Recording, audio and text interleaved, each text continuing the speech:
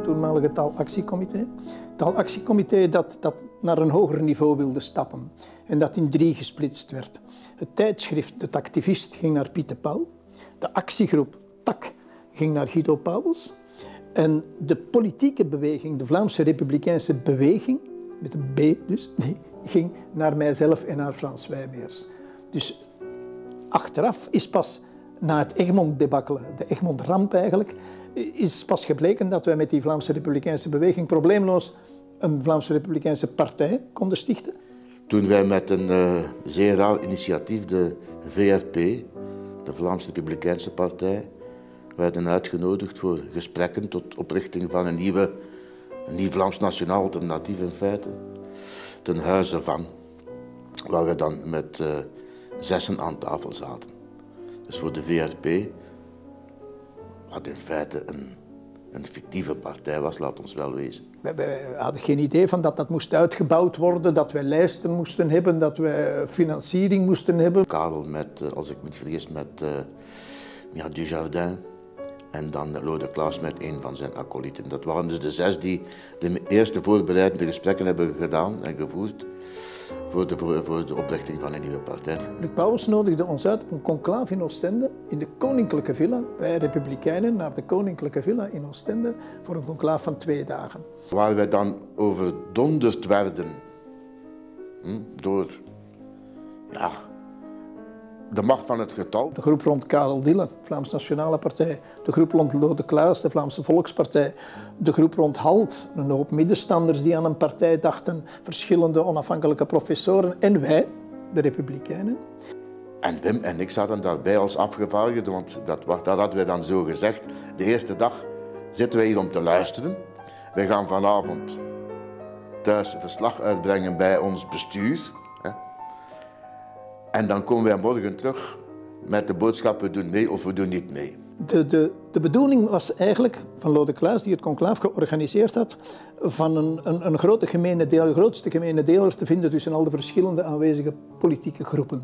Die, die, die na het Egmond debakkelen een nieuwe partij wilden. Ik had de indruk, en meer dan de indruk, dat het tussen Lode Klaas en Karel Dillen wel vrij goed klikte. Na één dag vergaderen hebben wij besloten van ons aan te sluiten met de groep rond Karel Dillen. Het is dan uiteindelijk afgebroken uh, op, op de naamgeving. De Vlaamse Partij was een voorstel van, van uh, Lotte Klaas. Dat was een werktitel, waar men dan later nog binnenskamers nog eens over ging brainstormen. Dus niet de Vlaamse Nationale Partij, niet de Vlaamse Volkspartij, niet de Vlaamse Middenstands, Vlaamse Partij voor iedereen. En dan kon iedereen zich daarin vinden. Wat typisch was voor de diplomaat die Lode Klaas eigenlijk was, dat iedereen zich daar zo wat in kon vinden. En daar is wel gebleken dat bij die ruimere entourage van Lode Klaas men er nogal op heel wat vlakken nogal libertaire uh, principes op nahield. Dat was geen coherent gegeven, die groep. Dat waren professoren, allemaal wel vrij economisch liberaal denkend, maar ook op ethisch vlak soms nogal eens uh, aan de vrij liberale kant. En daar is het dan een beetje gestokt. Karel, die van in het begin, die zegde nee, wij hebben de ramp meegemaakt met, met de Volksunie, waarbij de Volksunie dus een, uh, een zwenk gemaakt heeft naar links en veranderd is en onze, onze doelstellingen van de oorspronkelijke Volksunie volledig uitverkocht heeft. En wij moeten dus een nationalistische partij hebben. Karel Dille en, en Lode Klaas die verstonden elkaar. Er waren twee intellectuele, twee deftige, brave mensen. De, de, kleinere gesprekken die waren, dus met, met ons gezessen, die waren vrij constructief. En dat waren geen grote obstakels. Dus uh, Karel was kordaat, maar Lode Klaas was zeker wat betreft de ethische vraagstukken. Daar waar bijvoorbeeld uh, dat het ge gebarsten is of, of serieuze vertoonde in Oostende over de abortuskwestie. Dat was bij de zesmansgesprekken uh, zeker nog niet het geval. Maar op zeker moment gingen de verkiezingen zijn in 78, denk ik, 78. En dan is er in Weinigem, in Café Vlemingsveld, een vergadering geweest tussen Lode Klaas en Karel Dille, de VNP, VVP. En daaruit is dan het Vlaams Blok ontstaan. met, met de bedoeling, wie dat er verkozen is, gaan naar het parlement en we zien dat wel. Maar Lode Klaas was overtuigd dat hij ging verkozen worden, maar het was Karel Dille die verkozen. En de VVP is dan, natuurlijk is dat weggewerkt. Achteraf is gebleken, niet enkel in de VNP, maar ook in de samenwerking binnen het toen nog Vlaams Blok, dat inderdaad de ideeën van Karel Dillen duidelijk het, het gewonnen hebben, de beginselvaste ideeën het gewonnen hebben op de, op de vaagheden die door, uh, niet, niet, niet zozeer door Lode Klaas, maar vooral door verschillende andere deelnemers eigenlijk werden voorgestaan. Hij en zijn radicale ideeën hebben het eigenlijk gewonnen.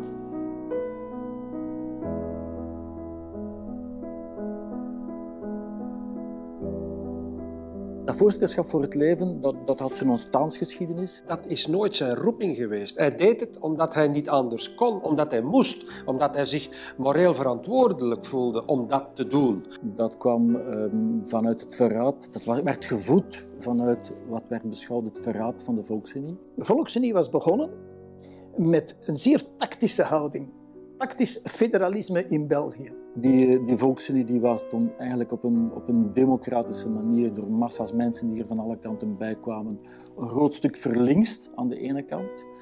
En aan de andere kant zo weinig radicaal dat zij in een Belgische regering gingen stappen zonder wat dan ook. Dan haakte de heel Nederlander Karel Dillen af, want dat vond hij helemaal geen houding voor een, een nationalist, voor iemand die, die veel verder dacht dan, dan dat kleine winstgevende denken. Die generatie Vlaamse nationalisten van Karel Dillen, die wilden dat debakkelen geen tweede keer meemaken. Dus hij is toen begonnen met van nul. Die wilden niet meer dat de nieuwe partij, die zij met bloed, zweet en tranen uh, gingen opbouwen, dat die op een democratische manier kon uh, verlinksen of kon qua ideeën goed verzwakken.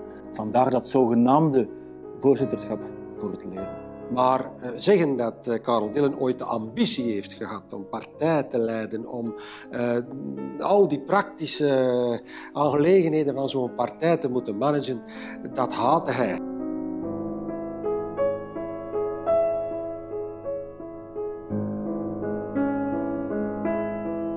De eerste zicht was, was, was Karel Dillen natuurlijk um, een, een, beetje een houterige man, hè, met, met, met, met, met een zware bril. Maar dat verdween totaal vanaf het moment dat hij op een podium stapte en dat hij begon te praten. Dat was, dat was begeesterend. Hij is mij altijd direct opgevallen door zijn directe, uh, zijn, zijn, directe uitspraken. Hij, hij, was een zeer goede redenaar. Uh, hij kon een zaal in lichter laaien brengen. Maar je leerde ook iets in zijn toespraken. Geweldige toespraken die hij hield zonder papier, zonder spiekpapier of welk technisch hulpmiddeltje uh, dan ook dat hij uh, uh, gebruikte. We moesten een half uur voor het congres of de meeting niet in de kleedkamer van Karel Dille binnenstappen, want dan memoriseerde hij zijn volledige tussenkomst en zijn volledige toespraak. En dat kon hij dan ook hè, zeer lang praten zonder ook maar één, één velletje papier. Hij memoriseerde zijn tekst, hij dacht na over zijn tekst die hij zou brengen tijdens het stappen. Hè. IJsberen. En elke keer was dat opnieuw, dat vuur dat, dat, dat hij daar kon inbrengen, dat vond je nergens anders niet. Karel die kon dat. En ik word nog steeds koud als ik alleen om die twee woorden van Karel, die dames en heren, die kon hij zo formuleren. Als Karel ergens moest gaan spreken, uitgenodigd werd als gastspreker of ging spreken, en hij stond op het programma als spreker succes verzekerd. En dan zijn begeestering wanneer hij aan het spreken was, dat volgde, dat unkeren naar die woorden die hij uitsprak, naar die volzinnen. Een zeer begenadigde spreker, zeer dynamisch, zeer scherp. Dille zei waar het op aankwam en dat ja, dat kenmerkte hem. Ik heb hem veel mensen horen, uh, moet ik zeggen, uh, de les lezen. Op een soms brutale manier, maar een echt gemeende manier. Hij kon inderdaad zeer scherp zijn. Zowel in zijn toespraken als, als in de, de artikels die hij schreef. Onder meer in Paliterke had hij een rubriek die hij noemde De Chroniek der Dode Zielen. dat was een titel van een boek van de Russische schrijver Nicolas Gogol. En uh, daarin, uh, ja, hij schreef in feite die rubriek uh, met vitriol. Hij kon mensen um, soms heel hard aanpakken, ook in eigen rangen. Nooit menselijk, want dat zou ik toch wel even willen beklemtonen. Het ging nooit om de mens zelf. Radicaal.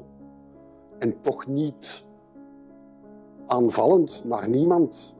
Die kritiek en die, die aanvallen die hij zelf kon doen, bijvoorbeeld naar, naar, naar een Hugo Schilds in de tijd van het Egmond Pact, eh, ook naar andere mensen toe. Voor hem was dat publiek. Dat was nooit de mens aanvallen. Daar maakte hij een enorm onderscheid uh, tussen.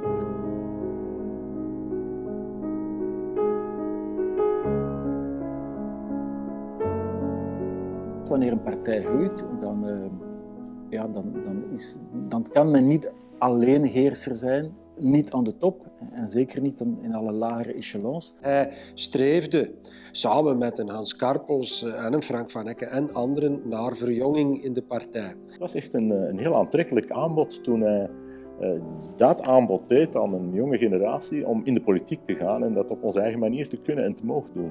Karel uh, voelde aan dat het anders moest. Wilde de partij groeien, moesten we ook organisatorisch groeien.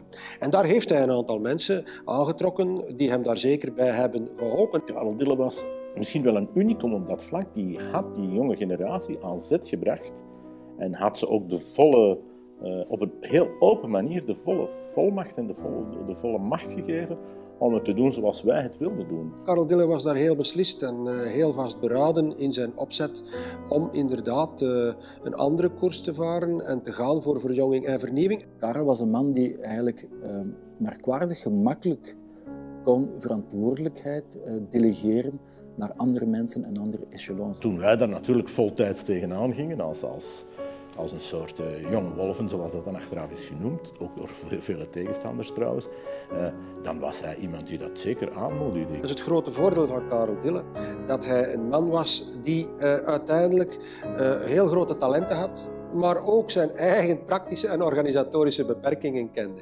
Dus zo'n generatie, zo heeft Karel dat gedaan, aan bod brengen, was werkelijk een carte blanche, een blanco cheque. Jullie gaan het doen, doe het maar. Dat betekende dat hij ook zou steunen in alles wat wij deden. Zonder eigenlijk uh, als schoonmoeder alles te gaan bedisselen of uh, alles te gaan bedillen.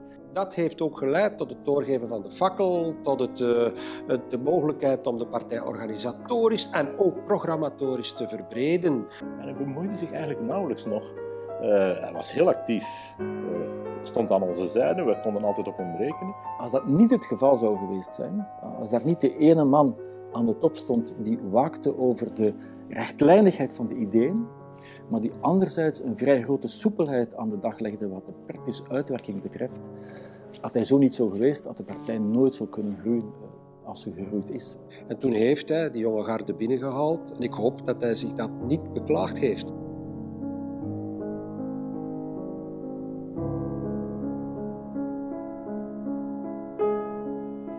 Te veel mensen in de politiek gezien die zich vastklampten aan een mandaat. Karel is altijd iemand geweest voor wie, zou ik zeggen, de, de persoonlijke grandeur van heel weinig of zelfs van geen enkel uh, belang was. Papa heeft nooit vastgehouden aan een titel of een postje. Zowel, als ik het mij goed herinner, zijn zetel in de Kamer als in de Senaat, als in Europa, heeft hem doorgegeven aan jonge krachten in wie dat hij vertrouwen had. We spreken dan over het jaar 1996. Ik denk dat papa besefte dat het tijd was om de fakkel uh, door te uh, geven. Ik denk dat dat inderdaad voor hem een bewuste keuze was en een, een, soort van opluchting. Dat zou wel een moeilijke beslissing voor hem geweest zijn. In de zin, niet in de zin van ik moet het voorzitterschap doorgeven. Maar ik denk dat hij het wel overwogen gedaan had. Ik denk dat hij er maanden over heeft nagedacht voordat, hem, voordat en... hij voor zichzelf die beslissing heeft genomen. Om een aantal redenen. Uh, hij werd al een dagje ouder. Hij, zou, hij was al in het begin van een ziekte die, die een zware tol zou uh, van hem vergen de volgende jaren. Om die partij zomaar aan een jongere generatie uh, te geven, uiteraard zonder de minste garanties, want die zijn er niet in zo'n omstandigheden, dat zal toch wel geen lichtvaardige, gemakkelijke beslissing geweest zijn voor uh, een mens als Karel Dillen. Hij was zich zeer bewust van het feit, wil, wil mijn geesteskind overleven, dan moet ik jonge mensen de fakkel in handen geven, zodanig dat ook zij er iets van kunnen maken. Er is nooit thuis over gesproken dat hij het ging doen en zeker niet wie de keuze um, was. Dat hij mij die verantwoordelijkheid heeft gegeven, daar... Um, daar zal ik de rest van mijn leven uh, een beetje trots op zijn. Omdat ik misschien op dat ogenblik dat dan in zijn ogen althans waard was. En hij had ongelooflijk veel vertrouwen uh, in Frank van Icke. Dus voor hem was die keuze wel vlug gemaakt. Eens dat hij de knopen uh, had doorgehakt van het is genoeg geweest, uh, ik geef de fakkel door, ik ga als voorzitter uh, mee stoppen. Hij wou gewoon dat de nieuwe generatie het overnam. En, het, en daardoor wist hij dat het goed was.